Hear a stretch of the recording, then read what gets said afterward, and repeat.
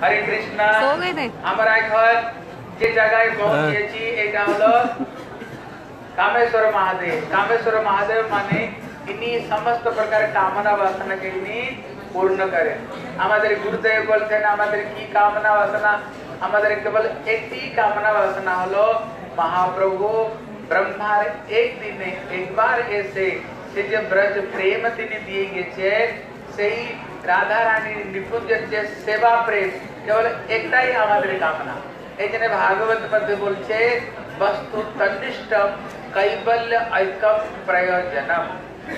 केवल केवल एक ही प्रेम हमारे केवल प्रयोजन से केवल ब्रज भक्ति केवल प्रयोजन। शिव ठाकुर कृपा होने पर कहना दीदी अष्टकालीय लीला दीदी शिव ठाकुर निजे अष्टकालीय लीला तीन सुना, है? तीन अष्टकालीय लीला तीन सुनिए वृंदा देवी के। अतएव শিব ঠাকুর, এই যে শ্রীমদ ভাগবত গ্রন্থ, কে কাকে শুনিয়েছে? শিব ঠাকুর, তিনি মাতা পার্বতীকে, অমরনাথে তিনি, এই অমর কথা তিনি শুনিয়েছে। আর এই ভাগবতের মধ্যে সমস্ত কৃষ্ণের সুন্দর সুন্দর কথা, সেখানে রাসলীলা কথা, সমস্ত কথা শ্রীমদ ভাগবত আছে। এই জন্য শিব ঠাকুরের ছাড়া কোন লীলাই হয় না, শিবের ঠাকুর লীলা।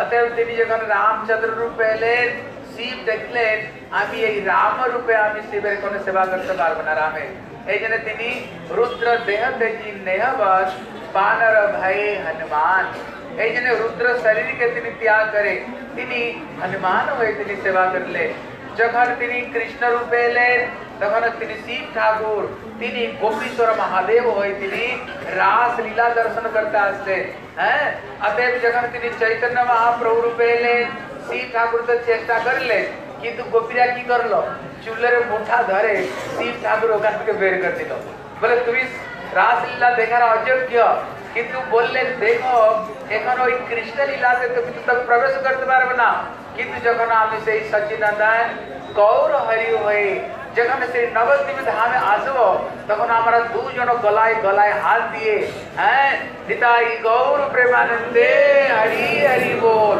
তখন সেই সংকীর্তনের আসে তখন তোমার সেই সংকীর্তনের আসে প্রবেশ হবে এই শিব ঠাকুর তিনি মহাপ্রভু লীলাতে তিনি অদ্বৈত আচার্য তিনি হয়ে আসেন সদাশিব রূপে হয়ে তিনি আসেন এবং তিনি যখন এই জগতের তিনি দুর্দশাকে তিনি দেখলেন তিনি দেখলেন জীবেদের কল্যাণ কি করি হবে জীবের মঙ্গল কি করি হবে বলে আমি জীবদেরকে তো হরিনাম দিতে পারি কিন্তু মহাপ্রভু তিনি ব্রহ্মারে একদিন একবার এসে যে ব্রজ প্রেমটুকু দেন আমি ওই ব্রজ প্রেমটা দিতে পারবো না ওই প্রেমটা আমার প্রভু শ্রী সচিনন্দন গৌর হরি তিনি এই প্রেমটাকে তিনি দিতে পারেন এই জন্য তিনি তুলসী পাতা আর সেই গঙ্গা জল নিয়ে তিনি যখন ভগবানকে আহ্বান আহ্বান করে মহাপ্রভু বলছেন না সুতিয়া আচন ক্ষীর সমুদ্র সাগরে নিদ্রা ভঙ্গ হইল মোর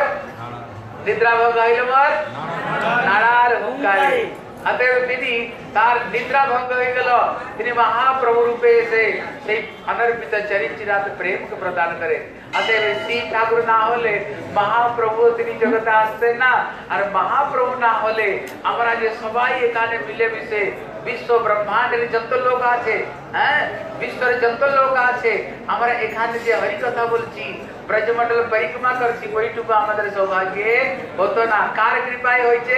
এই শিব ঠাকুরের কৃপায়। এই শিব ঠাকুরের কৃপায়। এইখানে আমাদের পাণ্ডবরা এইখানে ছিল। যখন সেই দ্রৌপদীকে তৃষ্ণা লাগে, বলে আমাকে খুব তৃষ্ণা লেগেছে। তখন তিনি ভীমকে পাঠায়, দেখো তো জল কোথায় আছে? তিনি ওই গাছের উপরে চড়ে দেখে নে, পাশে এই জায়গায় ওখানে পাখি উঠছে। বলে, মনে হচ্ছে পাশে মধ্যে জল আছে। তখন ভীমসেনে এসেছেন। তখন একটি বিশাল একটা বক এসে বলে প্রথমে আমার প্রশ্নের উত্তর দাও, তারপরে জল খাবে। বলে, কি? তুমি একটা বক হয়ে আমি সর্বশ্রেষ্ঠ গান্ডি গদাধারী, আর তোমার একটা বকের প্রশ্নের উত্তর দিয়ে আমাকে জল খেতে হবে? এখানে ভীম, তিনি জোর করে তিনি জল খেতে গিয়েছে আর ওই জলকে স্পর্শ করার সঙ্গে সঙ্গে তিনি সেখানে বেহস হয়ে সেখানে পড়ে গেছে হ্যাঁ? তখন অর্জুনকেও পাঠিয়েছে। তিনিও সেইরকম ভাবে জোর করে গিয়েছেন। তিনি সেখানেও তিনি বেহস হয়ে গেছে আর চার ভাইরা তো কেউ আসে না, সব একে গিয়েছে। এখানে যুধিষ্ঠির মহারাজ এসেছেন। তখন তিনি বলে, সাবধান। বলে, ভাইয়া, কে সাবধান বলছে বলে, একটা বক সাবধান বলছে বলে, কি হয়েছে? বলে, জল খাওয়ার আগে আমার প্রশ্নের উত্তর দিয়ে জল খাও। না তো এই চার ভাইয়ের যে অবস্থা না সেই রকম তোমার অবস্থা হবে কিন্তু তিনি হলেন ধর্মরাজ তিনি তিনি যুধিষ্ঠির মহারাজ যুধিষ্ঠির মানে কি বলে যুদ্ধে যিনি স্থির থাকেন তিনি হলেন যুধিষ্ঠির এই জন্যে তিনি যখন প্রশ্ন করছেন তিনি অনেক প্রশ্ন করছেন কিন্তু তাদের মধ্যে চারিটি প্রশ্ন হলো বিশেষ প্রশ্ন প্রথম প্রশ্ন হলো কি পথ প্রকৃত বাস্তব রূপে রাস্তাতে কি তখন তিনি উত্তর দিচ্ছেন বেদ বিভিন্ন স্মৃত বিভিন্ন না তো মুনির্যস্য মতম ন ভিন্নম ধর্ম তত্ত্ব নীত গুয়ায়া মহাজন জেন গত সপথা পথ কেবল একটি পথ পথ অন্যকে পথ নয় যে রাস্তায় আমাদের মহাজন লোকরা গিয়েছে বলে মহাজন কারা যাদের কাছে বেশি টাকা পয়সা আছে বলে হ্যাঁ যাদের কাছে বেশি টাকা পয়সা আছে बोले प्रकृत धन की, बोले, कृष्ण धन जय धनी, से ही बड़ा धनी। है? सब तक कृष्ण धन के जिन, सब तक बड़ा धन तारा कृष्ण धन धनी कारा, बोले, भक्तरा। अतएव सेखाने जब महाराज, निजे ही बोलचे।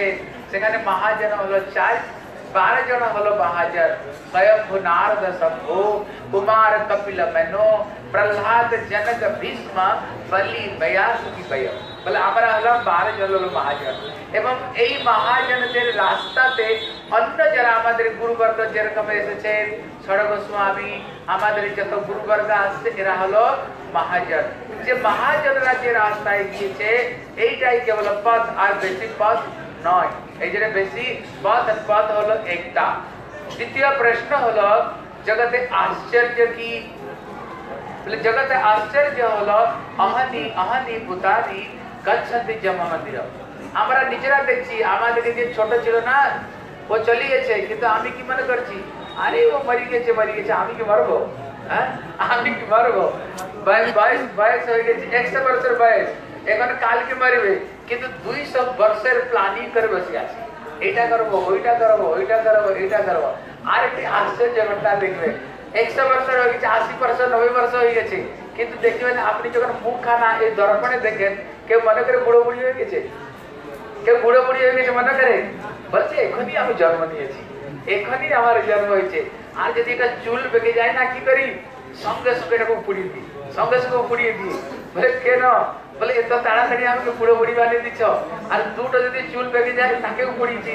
আর তিনটা, আর যদি খিচুড়ি হয়ে যায় আবার মেহেন্দি আমি কলার করে দিতে আবার কলার করে দিই বলে, কেন? কেন? কারণ হলো আমরা কেউ বুড়ো হতে চাই না। কেউ আমরা বুড়ো হতে চাই না। আশ্চর্য হলো, এটাই হলো আশ্চর্য। সবাই মরে যাচ্ছে ধীরে ধীরে। কিন্তু আমি মনে করছি, আমি আর মরবো না। সবাই মরে গেছে, তাতে কি হয়েছে? আমি কি আর মরবো? বলে, এইটা হলো জগতে আশ্চর্য। বলে জগতে সুখী কে? বলে জগতে একমাত্র ব্যক্তি, একটি ব্যক্তি হলো সুখী, অঋণী, অপ্রবাস। অঋণী মানে যিনি কখনো ঋণীগ্রস্ত হয় না। দুই প্রকার ঋণী। প্রথম ঋণী হলো নিয়ম, যদি কার কাছ থেকে আপনি যদি টাকা, পয়সা নিতে নিয়ে থাকেন তখন মাথায় মধ্যে কি থাকে। কি করে টাকা, পয়সা থেকে কি করে মুক্ত হতে? কি করে, এই জন্য ঋণী কখনো হতে নেই। কিন্তু ভাগবত বলছে এই ঋণী থেকে প্রকৃত ঋণী থেকে কে মুক্ত? বলে যারা ভজন করেছে।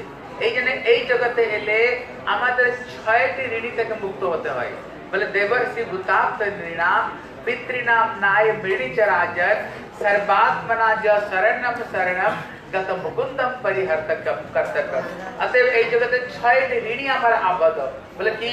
বলে বলে দেবর্ষি প্রথম হলেন দেবতা, তারপরে ঋষি দেবর্ষি ভূতাত্ম মানে এই জগতে বহু লোকেদের কাছে আমাদের সাহায্য নিতে হয় পিতা মাতাদের ঋণী হ্যাঁ রাজ ঋণী ঋষি ঋণী ছয় প্রকার ঋণীতে আমার আবদ্ধ আছে অতএব এই ছয় প্রকার ঋণী থেকে মুক্ত হতে হবে কিন্তু মায়ার যে ঋণী আছে এত ঋণী শুধু মায়ের ঋণী সারা জীবনে যদি মায়ের সেবা করি না এই ঋণী থেকে কেউ জগতে মুক্ত হতে পারে না তো অন্য ঋণীগুলো কি করে মুক্ত হবে কিন্তু এখানে বলছে সর্বাত্মনাজ শরণম শরণম কিন্তু যারা সম্পূর্ণ রূপে সেই গুরু বৈষ্ণবদের চরণে ঠাকুর চরণে যিনি সম্পূর্ণ রূপে শরণাগত হয়েছে তিনি প্রকৃত রূপে সমস্ত ঋণ থেকে মুক্ত হতে পারে তো আর কেউ মুক্ত হতে পারে না অতএব অঋণী তারপরে অপ্রবাস যিনি নিজের বাড়িতে থাকে বাড়ির যিনি বাইরে থাকে না বলে আমাদের বাড়িটা কোথায় হ্যাঁ কোথায় বাড়ি?